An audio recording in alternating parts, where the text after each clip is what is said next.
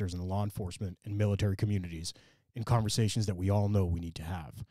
All opinions you'll hear are our own, are protected by our First Amendment of the United States Constitution, and in no way reflect or are meant to reflect the opinion of any specific agency, officer, or service member. Some opinions may be controversial. Listener discretion is advised. Enjoy.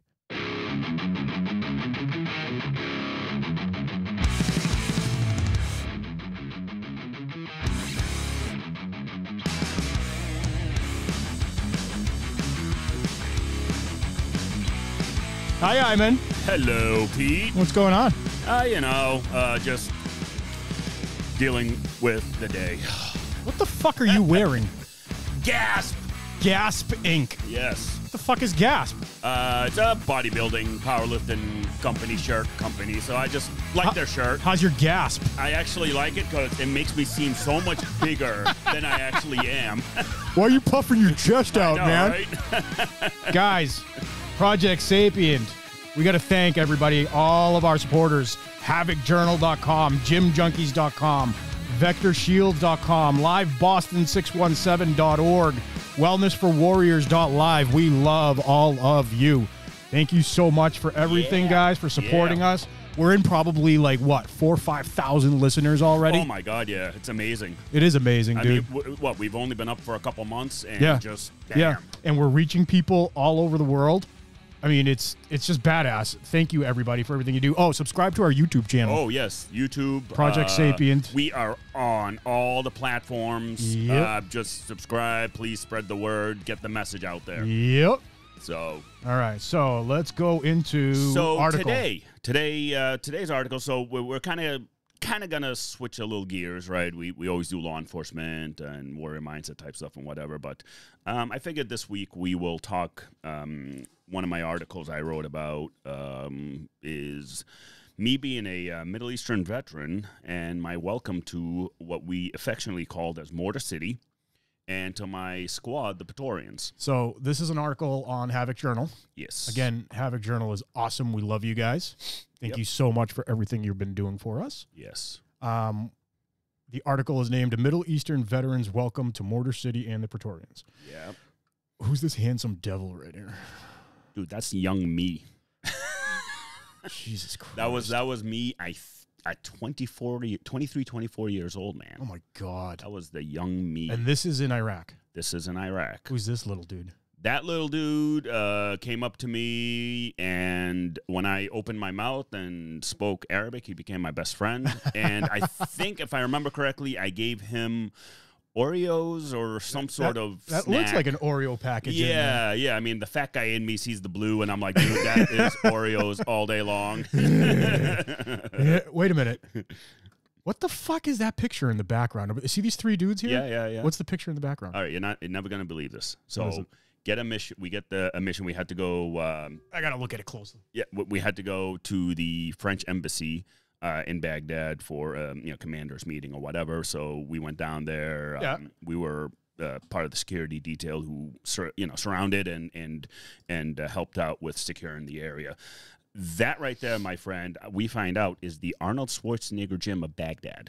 What? Yeah, Like the Arnold Schwarzenegger gym of Baghdad. that's what it was called. And, Was there uh, dudes working out? Oh my god, yeah. And and, and Savages. dude, what I loved about it is it was so old school. They had equipment maybe from the 50s and dude, it was awesome. Dude, hey, and, and whatever works. like well literally like You've seen those old uh, videos of Arnold Schwarzenegger working out in, in Venice and, and you know at a Gold's Gym and all that shit. Yeah. dude, it looked just like that. really? And I'm like, uh, and I met a a a, uh, and uh, so I met the owner of the gym. He he's an old school bodybuilder. Um, you know, and you can tell very well built, but you know he's old and and and and he's uh, training uh, this Iraqi guy uh, for bodybuilding to get into like the world competition type thing. And this dude was built like a freaking brick house. While this whole fucking war is going on, Yeah, these motherfuckers are training. yeah, That's commitment, dude. yeah, man. I mean, dude, that gym was packed. That's fucking commitment. And what's funny is uh, when we when we went in there, we I actually had to check it out. I'm like, dude, let's go in there. So it was like five of us, five U.S. soldiers. We go into the gym just to check it out. Right. But you know, again, like thinking about it now, I'm like, dude, you had a bunch of friggin' U.S. soldiers all battle battle fucking rattle and everything, and Yeah. we're walking in there with our M4s and 203s and M 249s. And just dudes lifting away, fucking. you know, dudes lifting away, and and um, again, I have so many pictures, but I could not find the picture of, of me inside the gym. We took a picture with the owner and all that. Oh, and it was, it was pretty cool. But one of these days, I'll, I'll find it and I'll if, send it if to you. can find it, we're gonna post the shit out of it. right? Yeah, yeah, I'll, I'll I'll get it out there to you guys so you guys can check it out. that's badass, bro. All right, so Yeah. talk to me. Talk to me about. so we're this- on page two. yeah, so this is one of the first articles I've written for Havok Journal. Um, Okay. So May 14, 2020. All right. Uh, so again, one of the very first articles I've written, and uh, you know, it reminds me, um, you know, it, it, it- so it goes off right at the beginning. I talk about what it was like going to Camp Anaconda, which was affectionately called Mortar City Yeah. because it was getting mortar mortars all the time hitting that base. It- it's a very large base, you know, mortars all the time. It's in the middle of a of a city, I believe. If my memory served me right, Ramadi, like the Ramadi Okay. area. So it's, it's it's a you know city area, and Don't mind me. I'm having my Greek coffee while we're talking. Well, you're good. Co- okay, I liquid cocaine. Yeah. so I, uh, so we we uh, now the way we landed. Yep. I will never forget this. So we leave Kuwait in a in a C one thirty, take off. We're getting ready, you know, to land in Baghdad, and uh, not Baghdad, sorry, Camp Anaconda. Yep. And um, they had to do what they call a combat drop. Oh, That was the only way they can land without getting shot at Yeah. or shot down. yeah. Uh, so you think T 130, very large plane, right? Has our company in there, um, and so basically, what a combat drop is is that the plane starts at whatever height, we'll say ten thousand feet or whatever, um, and what they do is to land, they corkscrew their way like Right. as a crash landing Yeah. to land the plane safely. And during that flight to uh, from Kuwait to Camp Anaconda, I forget it, it was probably a couple hours, maybe even less.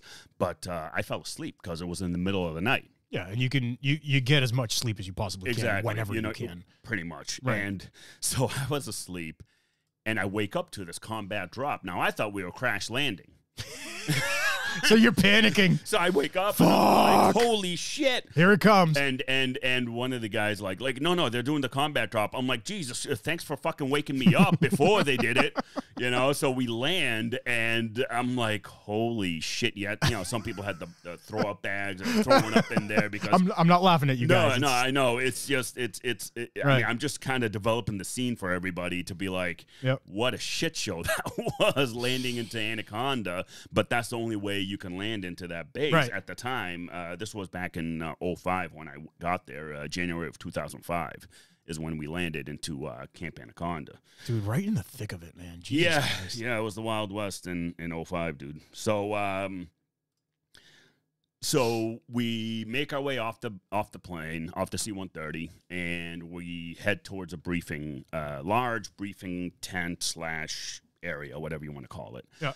Um, so you know, the military gave us these cards where we check in. So we scan in. Now we're checked into war. We're here. You know, it's kind of like kind of like checking into your room for the hotel. Yeah. You know, you're like, "Jing, all right, Can I'm I help here. you with your bag, sir? Yeah, exactly. so so we check in and we sit down, and uh, the sergeant first class, uh, an E seven, uh, was um greeted us uh, as once we sat down, and he yells out, "Welcome to Camp Anaconda, other- otherwise known as Mortar City." Fuck. As he continued to uh, brief us on in-processing procedures, billeting, like where we're going to be sleeping temporarily, um, process in, and all that stuff.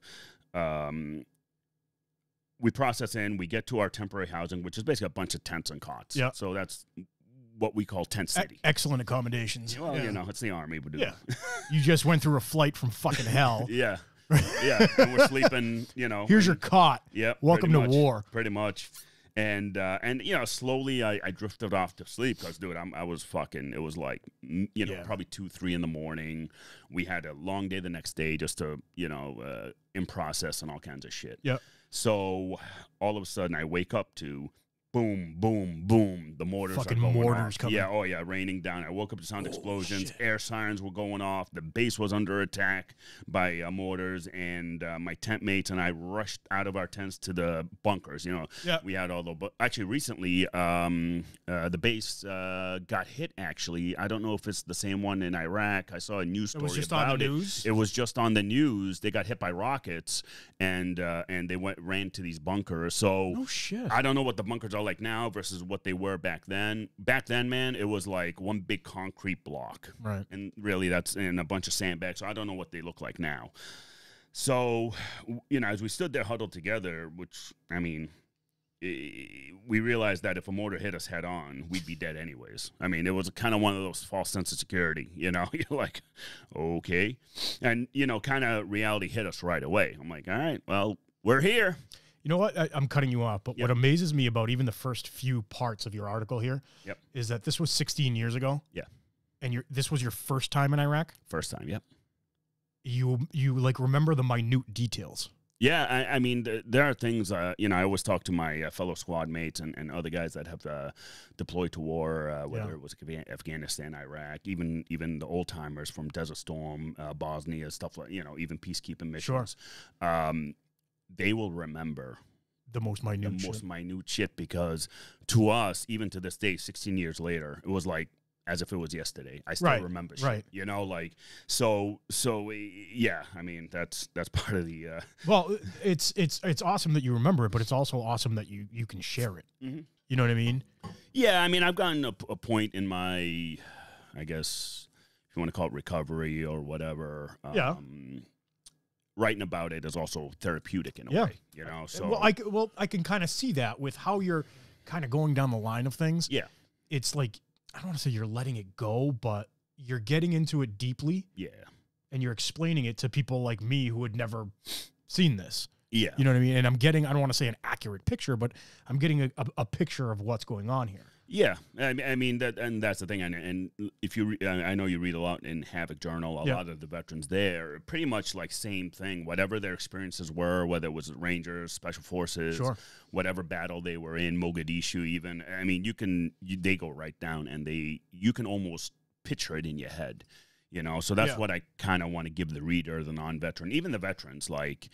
You know, it's nice to see that we're all in it together. Like, Everybody's what- in it together. Everybody's sharing. whatever we're struggling with, whatever Yeah. whatever issues we got going on. And and let me all. bring it back. I'm cutting you off, Yeah, but yeah, for good reason. Let me bring it back to our friends at at uh, wellnessforwarriors.live. Oh yeah, yeah, yep, because anybody listening, any kind of issues, we've we've been talking to them. They're amazing human beings, and they've helped out a lot of people even since we. I think we aired their show maybe three weeks ago, yeah, yeah, and and and uh, since then, since then it's been a bunch. Yeah. I mean, my last conversation with uh, Megan Kelly, one of the directors, told me six six people reached out to them after our episode. dude, that's huge. So I mean, it's it's amazing, you know. that's Uh, huge. reach out, uh, you know, veterans, law enforcement, uh, uh, first responders. Reach out. Right. I mean, uh, they'll they'll do what they can, and it's a free service. It's a free service, and not only is it f- like if you don't want to contact them, contact us. We'll get you into you know talking to them. yeah. You know what I mean. Yeah. Like there's no there's n- like nothing to worry about. No, absolutely not, and they get it.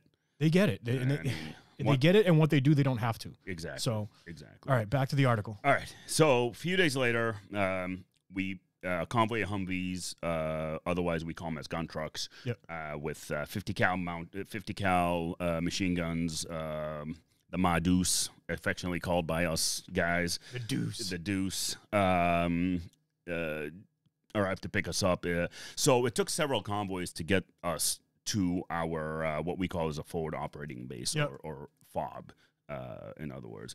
So as we travel along the road, um, I saw different areas where IEDs, uh, improvised explosive devices, had exploded.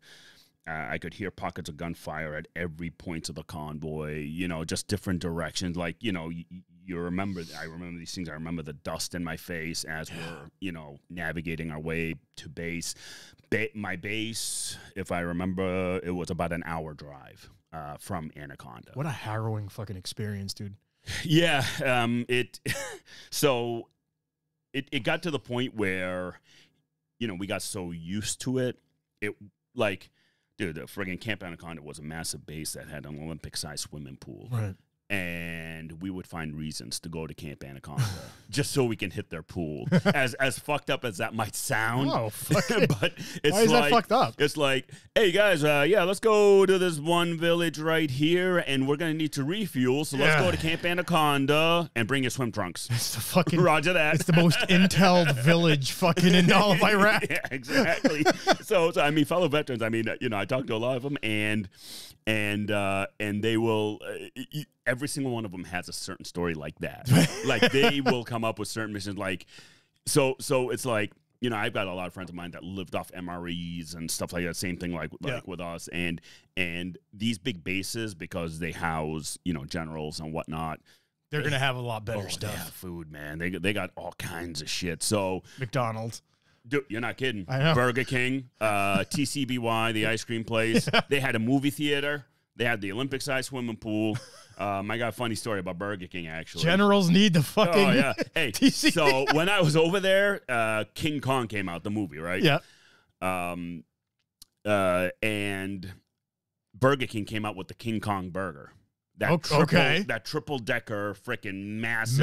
Massive, glorious fucking so burger. we if you ask know- me. oh yeah so uh, we uh, we go uh, you know we had a uh, supply convoy to uh, to do and and uh, provide security for supplies head down there so while the supply sergeants and stuff doing their thing i go over to the burger king because i'm like dude i am annihilating yeah. that thing Yeah.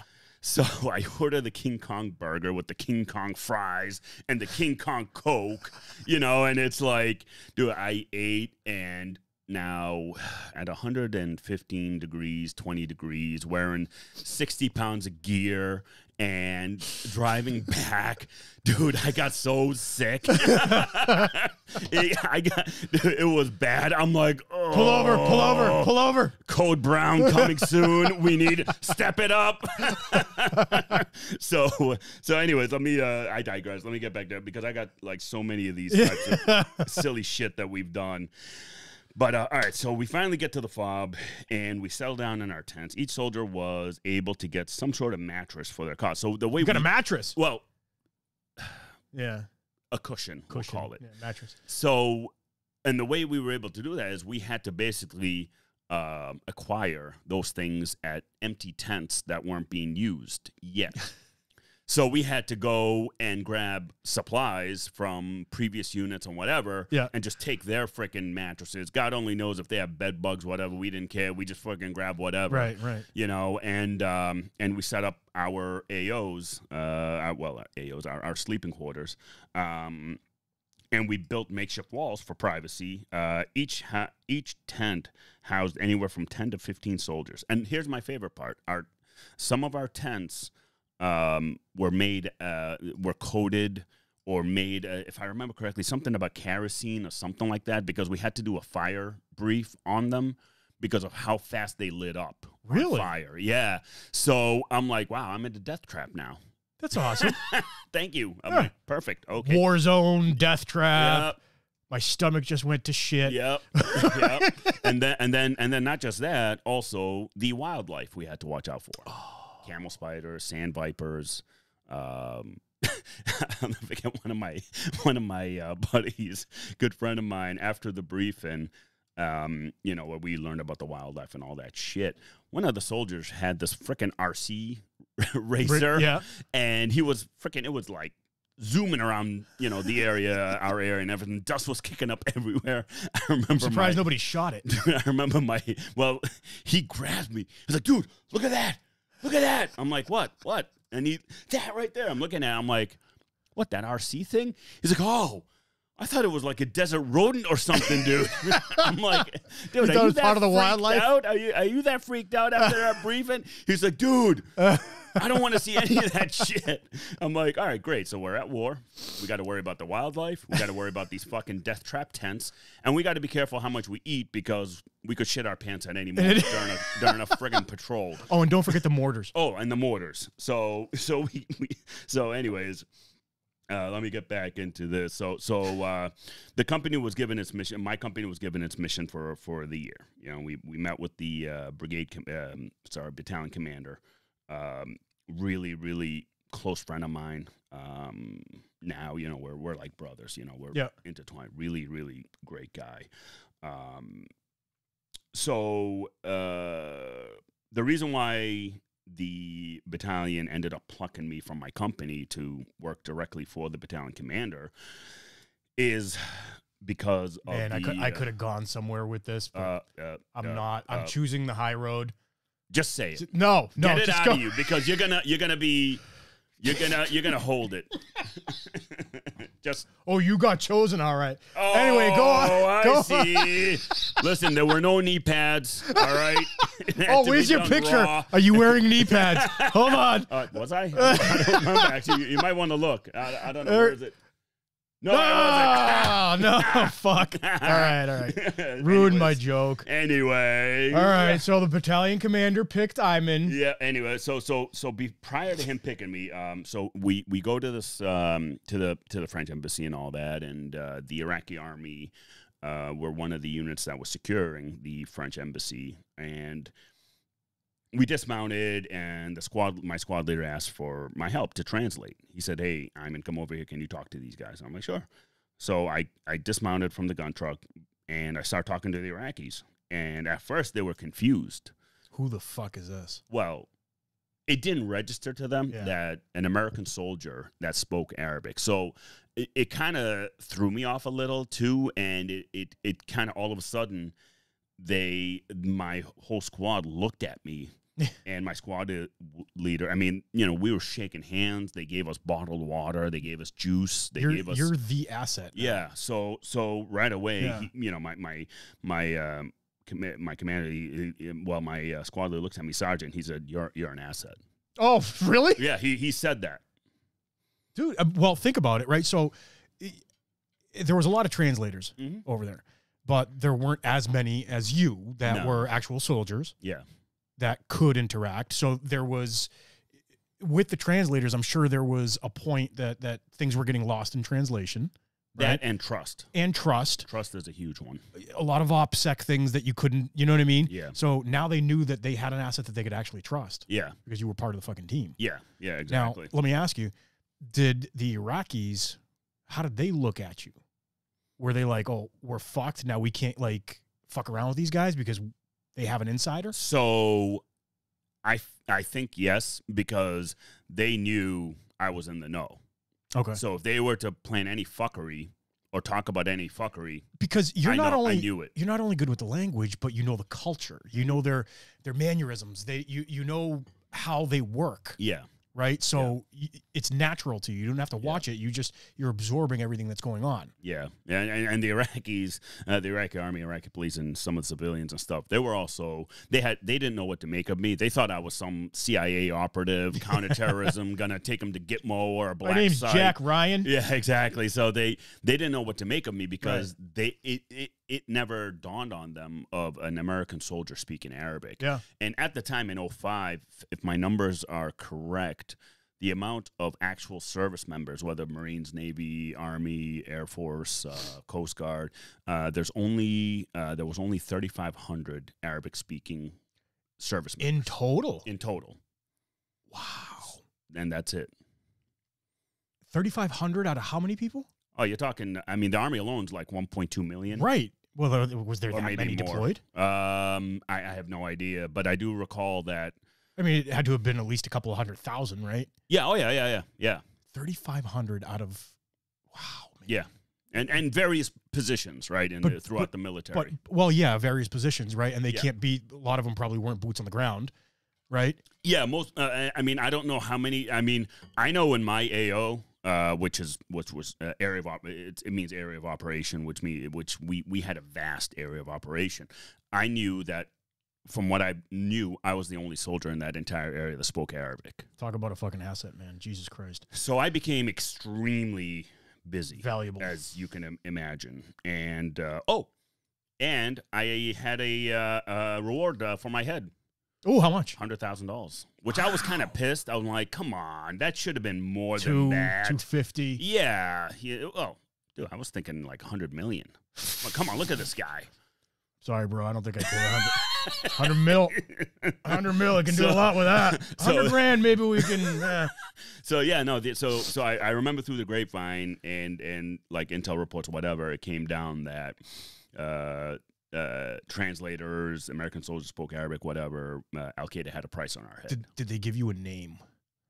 It's like a cool fucking name, like American Pirate or fucking something. You know what I'm saying? no, so so my, my squad we were called the Spartans. Uh, so Yeah. so uh, well Praetorians and Spartans, but we'll we'll get into that as soon as uh, as soon as we get there with the uh, with the um, uh, article. Yeah. Okay. Um, so keep going. anyway, so let's let, let me get back because I can go on forever talking about this. so uh, a couple weeks later, um, I was given a new mission. I was assigned to the battalion commander, uh, personal security detail. Yep. Um, the squad was called the Praetorians. Uh, they were named after their, an elite unit within the Roman army whose members served as the personal bodyguards of the Roman emperor. Uh, the battalion commander's call sign was Spartan Six. Uh, the the fob uh, was called Fob Spartan, so he was in charge of Yep. the fob essentially. Um, after my uh, deployment, I found out our call signs uh, were quite fitting.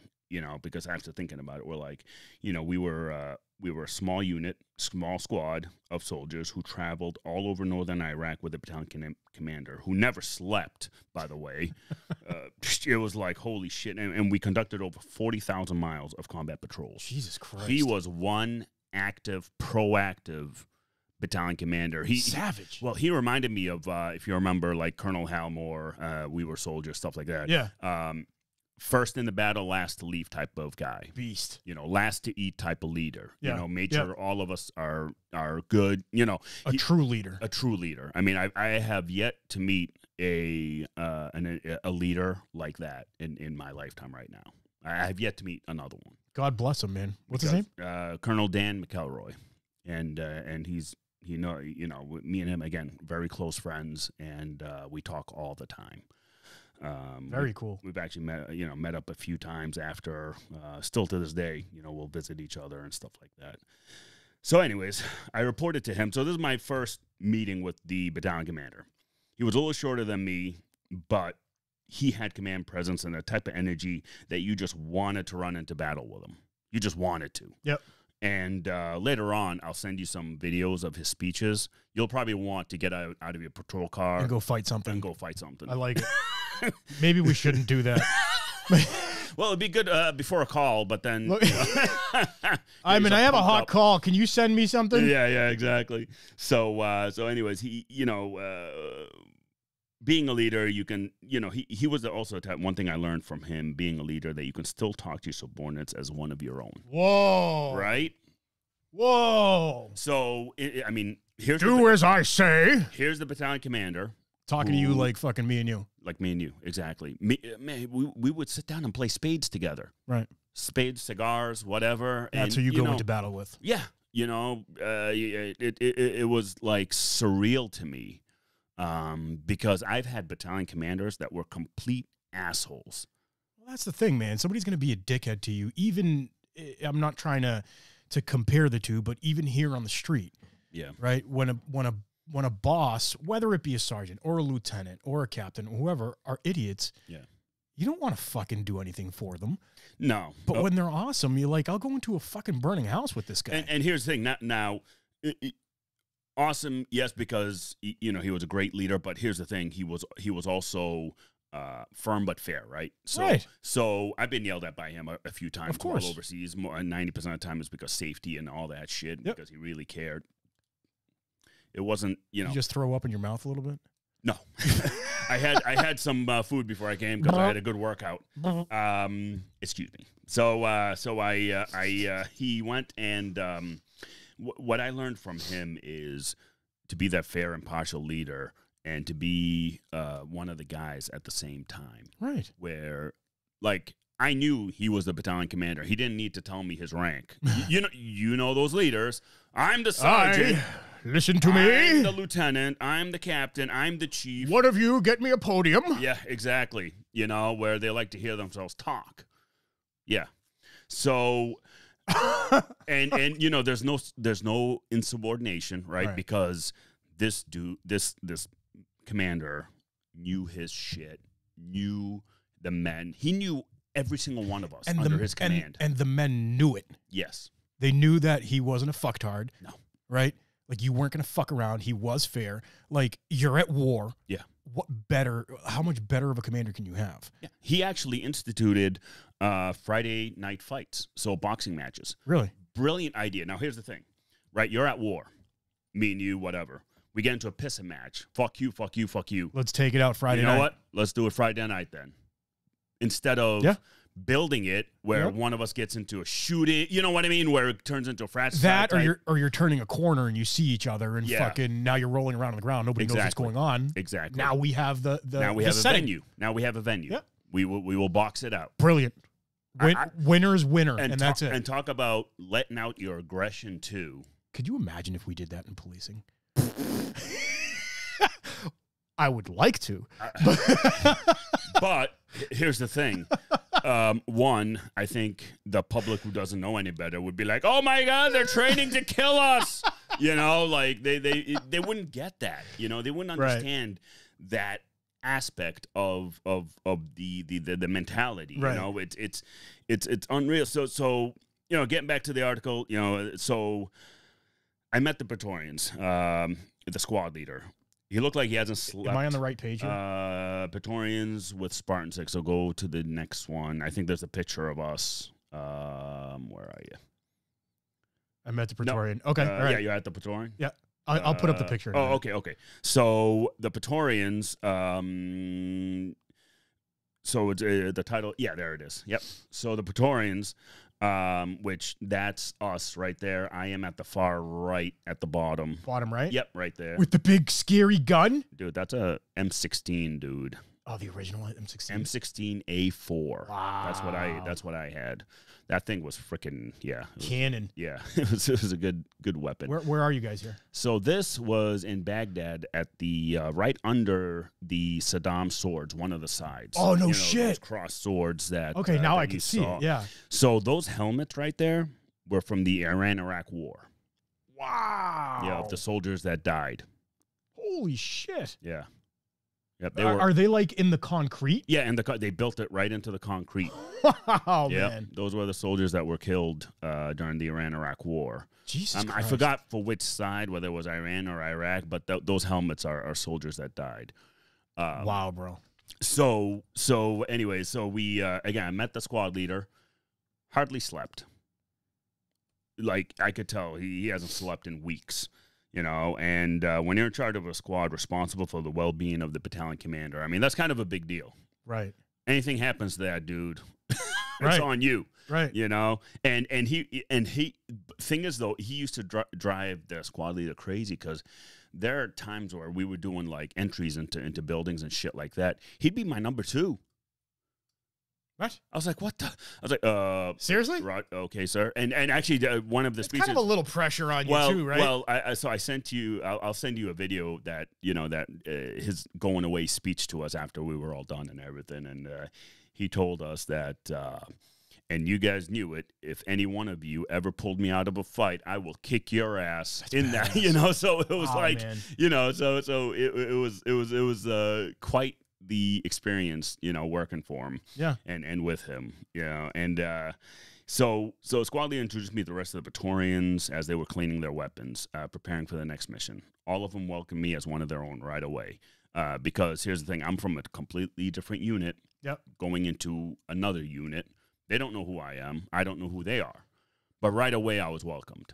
Right, right away, you know, we all bleed green Sure. you know and, and that's one thing i loved about the military it didn't matter where you came from what color your skin uh, All brothers and sisters. your religion we all bleed green we all have the same exact uh, mentality the like you know same missions um uh, like it, it- all of it you know all Right. of it so so when when so uh, part of the thing with them is they had all sorts and manners of of uh, weaponry because we were assigned to the to the battalion commander. Okay. You know, we had two four nines, we had uh, two forties, fifty cals, um, Jesus, uh, M fours, M sixteens, uh, just all kinds of weaponry. Um, AT4s, what are, which are the rocket launchers. Yeah. Um, and and it was it was pretty cool to be in a squad like that because those guys were all high speed. They were good people. They were good soldiers. They knew their shit, you know. And and they you know they've been under the command of the battalion commander for a little while uh, before I got there. You know, Yep. you're talking like a couple of months. So after a few minutes of getting to know each other, we given our mission by the squad leader. I went back to my tent to prepare. I realized it was going to be an extremely busy time for me. so I was also anxious because here's the thing. I mean, I'm 23 years old, and I had to ensure my situational awareness was 100% at all times. 11 men relied me to assess a situation, give them the information it needed so we could respond appropriately. Right. So I would go into these high level meetings with the battalion commander, with uh, various Iraqi tribes, Iraqi uh, mayors, leaders, whatever. And I would be the one translating, but at the same time, I also assessed the feel of the room. Right. You know, if, if Again, you knew the cultural aspects yeah, of a lot so so things. if I felt something was off, right. uh, we had a uh, kind of code uh, word we would say. I'm not going to Yeah, reveal yeah. it, but we had a code word we would say where they'll come in heavy. Yeah. You know, like fuck, like kind of like you know, uh, It's like an avalanche. yeah, in- in- avalanche. yeah. Like you know, president uh, sitting on the podium, something happens, Right. and everyone swarms. You know, it's kind of kind of like let's that. not give it up. No, no. Yeah. So, so, so it, it, it, you know, it was kind of like that. So, so I also had to make sure I didn't give up any information about where Yeah. we're going, what we're doing, and and part of that might, uh, and, and information about me either, because I still had family in family Lebanon, there. Yeah. which Lebanon, you know, it's freaking two hour flight probably to get there from Iraq. I'm sure these motherfuckers were sniffing, dude. Oh yeah, They were Yeah. like, "Who is this guy?" Yep. They're they're they're looking at everything about you, probably your dialect, fucking. Your, well, they knew they knew I was from uh, southern Lebanon just based on my dialect. Yep. You know, and and that it, it- that's the region. You know, it is what it is. So right? they're sniffing around. They're asking around. yeah, They're, yeah. that's dangerous. And dude. and I ripped off my last name on my name tape. Yep. And I, I had all the guys just call me by my first name, Ayman. I said, don't even give my last name. Right. It's only Ayman. Ayman, Ayman, Ayman. Because Ayman in the Middle East is a very common name too. Okay. You know, it's kind of like John John. you know, something like that. Uh, so so I just kept it at that. So um, and it, it made me feel a little better that now I'm not uh, I'm not so much of or my family isn't so much of a target. I wasn't too Right. concerned about myself. It's just more my family because I know I can take care of myself. Um, so i- while I was over there uh, meeting with excuse me meeting with the guys, we went out on our missions and some of our missions, man, you're talking a 14 hour convoy like to go up to Mosul Jesus. and you're talking you're just driving Yeah. and man you're talking in the heat you got to stay aware situationally aware I was just gonna say, you got 14 hours. You're you're looking fucking 360. yeah You're looking at everything, every little rock that seems fucking off. Your, your Mhm. ears are fucking perked. yeah Jesus Yep. Christ. and and you know so so it was really nonstop and and it was like I went there and and at the same time though I had issues when I was home yeah. right? So I was looked upon by certain members of the community as the enemy. I was called once. What do you mean? Why? Oh, you oh you joined the enemy. Traitor. yeah, traitor. That's No that's shit. oh yeah, right, right here, right at home, in the in the good old U.S. of A. what? Yeah, that's that's the way they I was looked at because I deployed. You know, By I- people living in the United States. Yeah, enjoying the freedoms that they have. No offense to anybody that you know. Fuck them. Yeah, well, that's Seriously? the way I felt. I mean, I at that point I disconnected myself from so many members of the community because one, they they showed their true colors, and two, here's the thing: whether you agreed with the war or not, everyone had their own own opinions about the wars, right? Of course. Whatever, it, it is what it is. But here's the thing: I I was given orders, time to deploy, Yeah. What are you gonna do? time to go time to go do what we got to do but you know what one thing that's so true is the minute a bullet goes right by you or mortars hit or whatever whatever you felt about the war or whatever Out the window. it's out the window Right. now it's about you Survival. to the guy to your left and to your Right. right, or the ge- girl, uh, the gal to your left, to your right. It didn't matter at that point. Um, so that's the, and and for people to uh, like within my community to realize that or to understand that they will never, because again, even even here, they're still in that tribal mentality. You know, I- they, they I still get it. that. because like even my culture is the same way. Mhm. You know what I mean? I get it, but like it's disappointing to fucking hear that. Like you can't support. It's a was this family that we're talking about? Ver- uh, as Close- a family or close close, family. Like they can't support you. Yeah, no, I, I uh, when I went to boot camp, man, I was uh, basically on my own at boot camp. Um, got letters here and there, whatever. Yeah, but Um, when I was at war, um, again, like like most soldiers, actually, we never told our families really where we were. right, right. But they Um, knew they had an idea. They had an idea, Right. and and I went. You know, I, I I spoke to to my family every once in a while, but it was kind of like a, I don't know, kind of like almost, hey, I'm just here. Yeah, I'm okay. All right, thanks, bye. You know, it wasn't really nothing in depth. I was, uh, you know, I kind of so so my own. I've I've kind of learned to develop uh, my own drive, my own uh, determination. Right. Well, you're mission oriented, right? You're Yeah. gonna you're gonna Yeah. take care of the mission. You're gonna take care of the men. Yep. You take care of you. Yep. You know, and you can't let those outside influences fucking get in your head. Because here's the thing: the minute you let that stuff get into your head out there, that's when you die. oh, exactly. That's when bad shit happens. Uh, you you frickin' you zig instead of zag, and you catch a bullet. It's it's the Um, same here on the yeah. Oh, street, yeah. right? Like Oh, you, yeah. you can't let anything get into your head that's not positive. If it's Yeah. positive, let it be in your head, Mhm. right? Because even the positivity, let's get in the physiological aspect. It's dumping good chemicals, good Yeah. hormones, and all that. Yeah. But in a war zone, Jesus. No, in a war zone, it, it was it was. I mean, I remember there were times uh, in a war zone, and I was uh, kind of in a haze. Right, you're kind of in that fog of war, Fog. if you want to call it. Uh, walking back to my tent, and I remember seeing uh, one of the garrison uh, sergeants. Garrison are ones like you know they stay, they- don't really go outside the wire. They they have other functions like whether it's Yep. paperwork or whatever, and uh, and whatever they did. But as as I'm I was walking by the sergeant, sergeant was actually a female uh, sergeant uh, assigned to the battalion. Um, she walked by me and uh, she saw I was kind of in that fog, right? Kind of just walking back lazily, if you want to call it whatever. Yeah. Um, and she said to me, uh, "Hey, Sarge, keep your head up."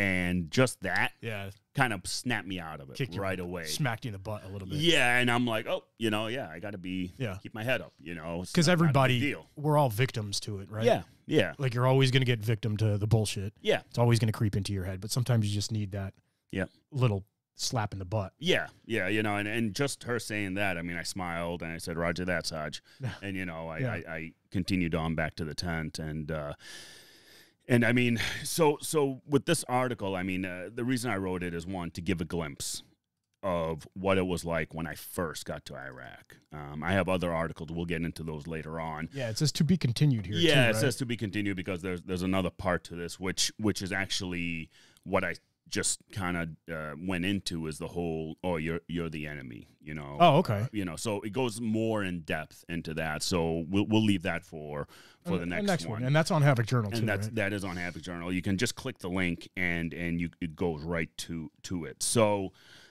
you know it it it, it me getting to Iraq, it was such a surreal moment. Um, after again, I realized we're at war. You know, Right. after the mortars came down, but you know, a few months in, those mortars didn't really matter anymore. It became second nature. it bec well, it became kind of like uh, The I'll- constant. well, I'll never forget uh, going on leave. Right when when I was getting ready to go on leave for my two weeks, um, I went back. I went back to Camp Anaconda because that's where we leave to go to Kuwait. From Kuwait to wherever we chose Yeah. to go. Um, and we, uh, so I remember laying in my tent, in, in the tent, and kind of like the transient tent, if you want to call it, on base. And I'll never forget hearing the mortars sail over my tent. And me and a few guys were laying there. We kind of, and we heard the blast. Eh, no biggie. We're like, eh, it's, it's far. So we- That's we, at least 200 fucking yards yeah, out. so we lay back to sleep. So Yeah. again, you think about it like today, you know, Yeah. you're like, that's fucked up. Yeah. You know, like like there were times where me and the squad leader were doing our uh, our briefing, mission briefing, right outside the gate. Um, inside the gate, but we're like right there. Yeah. Um, you know, he's going through his binder of the latest intel reports, stuff like that, and and we're just going through it. And you know, I'll, I'll never forget. I saw we, you know, a few mortars hit. I don't know, again, like two, three hundred yards away from us. Boom, boom, boom. No big deal. And we're just looking at it, and we're like, "Huh, that's interesting." And and the squad leader's like, "Well, I guess that's our cue to go, right?" I'm like, "Yeah, I guess." And it was so nonchalant. You guys wanted to like five more minutes and then we're out of here. Yeah, Uh, you know, it, it wasn't it wasn't anything uh, anything no like biggie. yeah, it wasn't. It, it, it turned into more of a hassle because oh, you're getting in the way of my fucking sleep. You know, now I got to Right, get up and and you know it is How what dare you, is. Yeah. mortars? Yeah, exactly, and, and that's what you know. Again, that's like I'm sure to to to veterans they can understand it. Um, you know, Yeah. listening um, to the civilians who who are listening that don't uh, understand it. It it it's a different type of world. It's a different type of mentality. It's it's it, again. I, I hate how certain people like to kind of paint us as these savage Vikings or whatever. Even if Vikings, Although being a Viking is pretty cool. Yeah, uh, but but just you know, like no emotion Right. type Right. shit, and and you know as well as I do, the only reason why we get no emotion, if you want to call it that, is because of muscle memory. We get into that Right. mode where we're doing entries, whatever, Yep. and to me, I equate it to be like, oh, I'm like as if watching a VR video Yeah. game and just going through the motions. I'm not doing it; it's just my body doing it. It's a stillness of the mind. Yeah. Right? Yeah. It's it's the muscle memory in your brain. The brain's a muscle. Yeah. Right? It's the muscle memory in your brain. It's just it's sad that we have to get to that level. Yeah. Because you're going through all that experience. Yeah. It's sad that you as soldiers had to get to that level. Yeah. Where you're telling me the story and that's the first thing that I'm thinking of is the muscle memory. You guys are just, you know, playing fuck fuck and Yeah. oh, there's another mortar, 200 yards. Yeah. You guys want to get out of here or whatnot? Like, I get it. You've been desensitized to it because it's war. Yeah. You're a soldier. But if fucking if if a transformer fucking blows on the street here the wrong way, Yeah. like people will shit their pants. Yeah. Yeah. I and it's not it's not like oh you need to be desensitized to it. We get it. That's part of living here in this country, Yeah. right? You grew up with fucking bombs falling around you. Yeah. One of I remember you were talking about it. Yeah. Liberia's Civil War and Leban- Lebanese Civil War. Right. Yeah. So you grew up with it. Talk about being desensitized, but you went to war when you're an adult and it still affected you. Yeah. Even though you were desensitized. Do you see what I'm trying to get? Yeah, yeah, yeah. I mean, I mean, here's the thing: mentally, physiologically, um, when you don't do it as often. So as a kid, yes, I grew Right. up with it and all that. But then for years living here, not having to deal with it, Right. you kind of lose sense of what it was like. And then when I was thrusted back, or I, you know, went right back to war, yeah, I was kind of shook up at first, Sure. but then I got used to it. But I mean, it's the same. It's this. I'm not saying it's the same. I'm, Again, I'm not comparing, but Yeah, yeah. it's it's like when you have a traumatic experience here. Yeah. You know what I mean? Yeah. No matter how much used to it you are, no matter how tough you are, no matter how big the fucking wall is, something's gonna get through. Yes. right? And Yes. you might be driving home one day and you might be like, "Oh fuck, what just happened with this, with that?" Absolutely. You know what I mean? Um, actually, I, I'm going to go. Uh, one of my buddies, uh, I actually wanted to talk about this one. He, Yeah. he brought up a great, uh, great point. He's a fellow SWAT um, guy, and uh, he's on on my team. And he he actually posted something so profound to me um, that I'm like, you know what? He is 110 percent correct. Yep. Um, what he said was, in a normal person's lifetime. Well, shouldn't say no, but in in in in this country, in in one lifetime or in the Western world, whatever you want to word it, a person may might experience one traumatic event, maybe two, maybe three, maybe. Okay. You know, on the rare occasions. Yeah. Cops, us as cops, first responders, we we might have to deal with two or three a week. Yep. Whether it was about right. uh, it, whether it was a you know baby's death or or a violent struggle or um, a horrific car crash Right. or you know, you know multitude of things. So so when when when he posted that and said that, uh, I'm like, you know what, he's fucking right. So uh, he was going back into the dark sense of humor that we all have. You know, we're all we're all pretty uh, messed up uh, sense of humor, but that's our release, Right. right? We don't mean anything by it, Right. but it's it's a way that we let go. Yeah. You could you could be at a murder scene and fucking, you know, fuck around with your friend Oh yeah, I mean, I mean, as long as it's not taking out of the out of the murder. Oh yeah, yeah. I mean, I mean, you know, we we've been to murder scenes and, and sudden deaths and stuff like that. And the next question out of my mouth is, "All right, What's what's for for, lunch? Yeah. what's for dinner? Yeah. You guys want to order some pizzas while we, before we get back? but that's not to say. I mean, that's okay. We've been desensitized, Yeah. right? Yeah. And we use humor a Yes. lot, but that's not to say that it won't affect you yes. The next day or a year from now. How many how many times have you talked to somebody and you're like, "Hey, what's wrong?" And they're like, "Hey, remember that thing fucking 2 years ago?" Yeah. And you're like, "Holy shit." And then you you know, you get you talk about it or you get them the help or Well, this and that. Here's, like here's here's a true. I mean, true from me. Um, not so much at war. I mean, I had my issues there, but more recent. Um, uh, maybe a few months ago, right. uh, SWAT op and everything, and and I, you know, I it, it got close to a a, a shoot. A bad yeah, shoot, you know, a bad day. a bad day uh, for both me and the suspect. Um, one because I was forced to pull that trigger, which Yeah. you know, again, we talked about it about you know the worry of me losing my humanity again if if if it comes to that point. Mhm. Um, but um, like two three days later after that, on my way to training, um, my heart rate was freaking flying fast Yeah, because all of a sudden, all those emotions I felt hit you hit me. right at one fucking point. Yes, Just I get just it. random. I it was it. the most random thing. I was driving down Yep. uh, the Mass Pike, and bam, I got hit. Yeah. You were probably listening to fucking good music. Oh yeah, probably man. Thinking about fucking rainbows or some shit, and then it's just. I, I don't mean rainbows, but but you know what I mean. Yeah, Like yeah. you were probably like, "Oh, nice car!" Yeah. Bang. Oh yeah, no, I, it hit me out of nowhere. Yeah. And any first responder or veteran military that that says that's bullshit, I call your bullshit. Of course. fucking admit it. Like, you know, I, I dealt with it. I you know, did my combat breathing and I just kind of worked it out.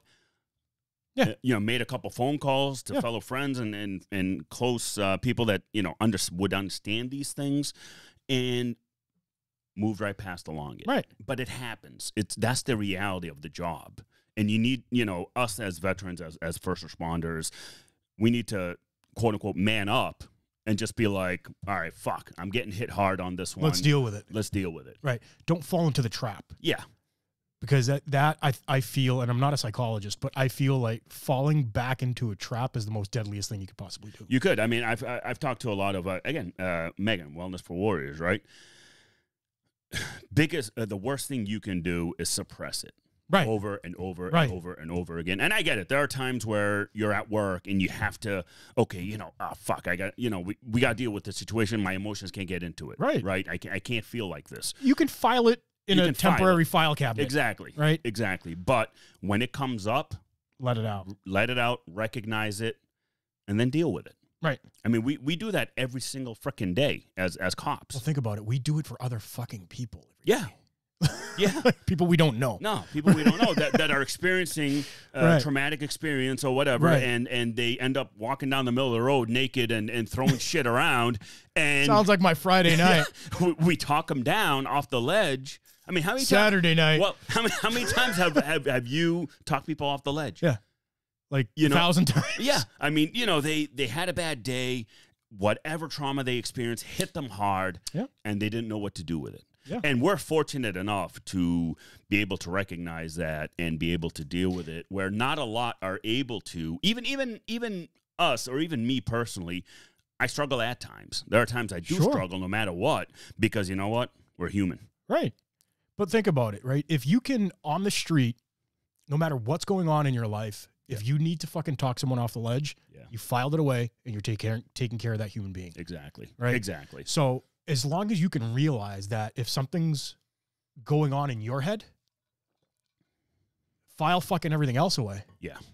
File everything else away. Yep. Reach out. Yeah. Reach out to the Project Sapient. Reach out to the Wellness for Warriors. Yeah. Reach out to your fucking buddy. Yeah. Reach out to your sergeant.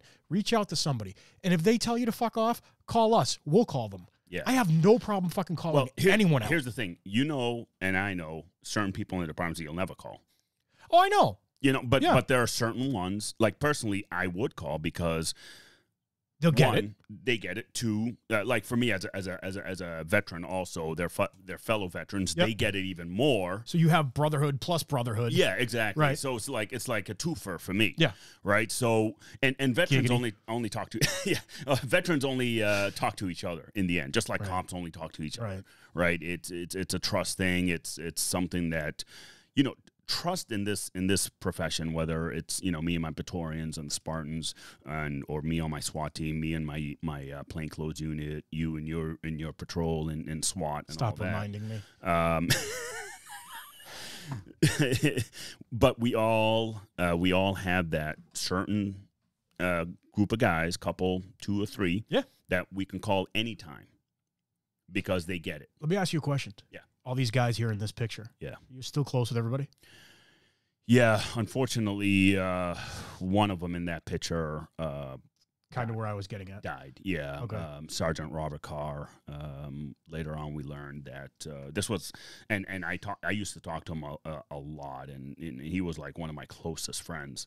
And uh, when I found out he he actually passed away, we uh, it was it was devastating. Devastating. You know, because he was such a good guy, and I know his last deployment in Afghanistan was probably his worst one uh, that he ever did, and and he. It, it was so bad. He, you know, he, he lost guys. He lost a lot of guys. He lost uh, friends. Um, he, he was struggling really bad, and, and the way he died was um, a motorcycle crash, like kind of like you know, I, I don't know what. Again, I don't know what it was exactly, and, and actually, I have it right here. His obituary. He died October twenty third, twenty thirteen, at age forty six you know, and he was, uh, you know, he was actually the battalion commander's driver, and he Oh, really? had such a freaking funny sense of humor. It was it was amazing to me. And uh, actually, in the picture, where would he be? Uh, let me see. Hold on. Don't get so close, man. You haven't bought me dinner. um, yeah,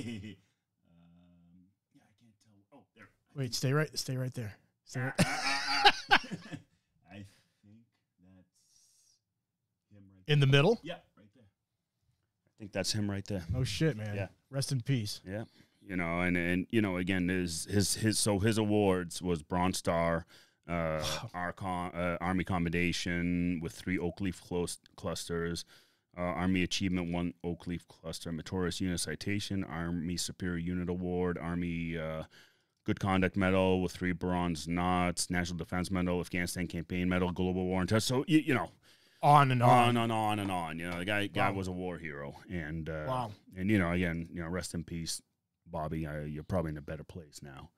Uh, Yeah, man. But uh, but anyways, so that article was kind of my intro to uh, when I went to Iraq.